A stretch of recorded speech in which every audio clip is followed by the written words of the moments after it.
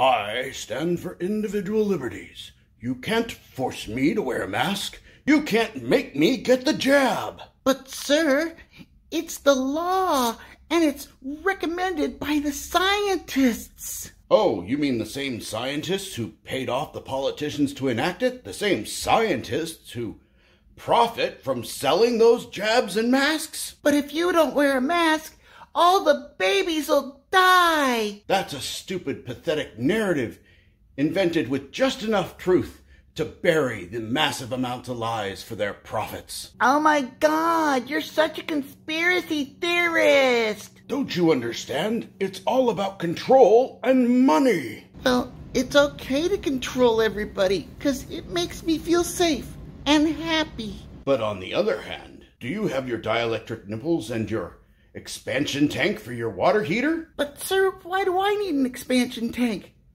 I don't have pressure problems and everything's designed to take four times that pressure. It's written in the code. Designed after the manufacturer's recommendations. You mean the plumbing scientists who wrote the IRC and the same ones who profit from selling all these tanks? Well, what about the people who have water hammer from wells and pumps? But what about the vast majority of people who don't?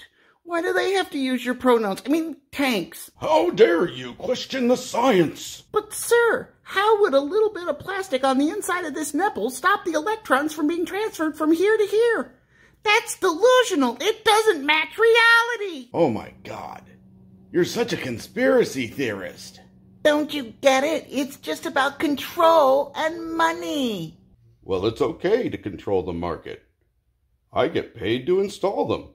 Do you know a closeted left wing extremist? Do you know someone who's wearing a MAGA hat, but then chastises you for questioning authority? Then have no fear. Bring him out of the closet. We'll throw him a pride parade, give him some pronouns, and maybe Biden will sniff their hair.